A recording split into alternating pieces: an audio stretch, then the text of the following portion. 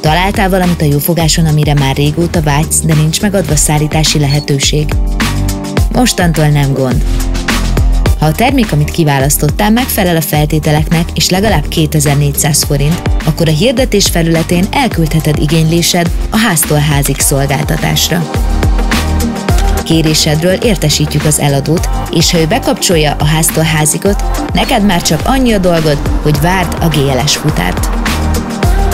Ha háztól házig igénylést küldesz vevőként, ne feled, a termékárán felül ezt az összeget is ki kell fizetned a csomag átvételekor.